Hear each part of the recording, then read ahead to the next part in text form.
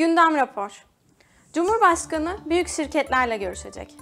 Cumhurbaşkanı Recep Tayyip Erdoğan 26 Mayıs Çarşamba günü ABD'li büyük şirketlerin üst düzey yöneticileriyle video konferans yöntemiyle bir araya gelecek. Görüşmede Microsoft ve Netflix gibi dev şirketlerin de olacağı ifade edilirken, görüşmenin gündemini Türkiye'nin yatırım ortamı ve ekonomik durumu belirliyor.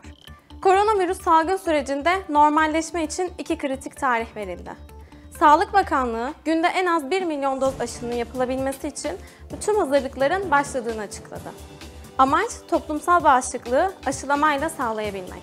Böylece Türkiye yaz ortasında rahatlama, sonbaharda ise ferahlama dönemini yaşayacak. 26 Mayıs'ta kanlı ay tutulması gerçekleşiyor.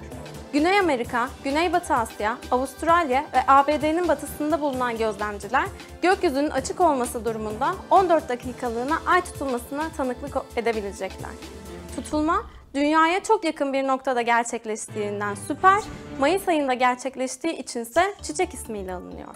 26 Mayıs'ta yaşanacak tutulmanın ismi bu nedenle süper çiçek kanlı ay tutulması. Samsun'dan Japonya'ya. Samsun Tarım ve Orman İl Müdürlüğü verilerine göre 2020 yılında kentte 12.500 ton su ürünü üretildi.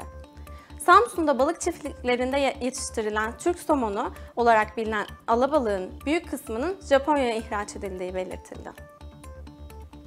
Samsun genel olarak turuncuya döndü. Samsun, Covid-19 vakalarında düşüş eğilimine geçti. Samsun'un risk haritası kırmızıdan turuncuya dönerken Ladik, Çarşamba, Kavak, Tekkeköy, Yakakent, Terme, İlkadım ve Ay Ayvacık ilçeleri ise risk haritasında hala kırmızı.